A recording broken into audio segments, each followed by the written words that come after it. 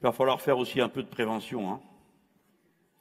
Monsieur Macron a dit qu'il était d'accord, il fallait faire de la prévention. Ah non, pas vous.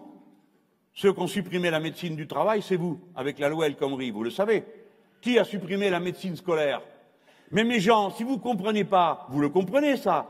Les petits, si à l'école, vous avez un tout-bi aujourd'hui pour 11 000 élèves, mais à l'école, c'est là qu'on peut regarder comment ça tourne ou pas. On les passe, il faut le temps qu'il faut, mais il y a toute l'année pour faire la visite et dire attention à ci, à ça. Et puis quand un petit jeune a un problème, il ne va pas forcément aller le raconter à ses parents qu'il a un problème. Il va voir l'infirmière ou l'infirmier à l'école. On sait tout ça. Qu'est-ce qu'on préfère?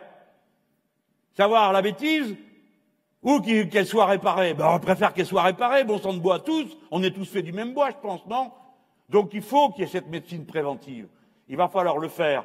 Et la politique qu'on propose, c'est une politique préventive. Parce que quand vous dites que vous allez sortir des énergies carbonées grâce à la planification écologique, eh ben vous faites de la médecine préventive. Parce qu'il y a moins de gens qui s'empoisonnent avec les produits qui sont liés à la pollution. Quand vous dites que vous faites de l'agriculture bio, vous faites de la médecine préventive. Parce que vous arrêtez la malbouffe.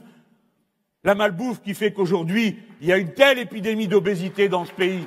C'est pas parce que les gens s'empiffent c'est parce qu'ils mangent des choses qui ne sont pas bonnes. L'écologie, c'est de la médecine préventive. Et enfin, il y a des défis qu'il faut qu'on relève. Vous ne le savez pas parce que peu de gens vous en parlent, mais l'ONU, qui est la seule instance internationale que nous pouvons respecter et qu'il faut essayer de suivre, eh bien, l'ONU a lancé une alerte et demandé à tous les pays de mettre au point une politique de santé de lutte contre la résistance microbienne. Parce qu'à force de foutre des antibiotiques dans le manger des vaches, des cochons, des poissons, eh bien, la résistance de l'organisme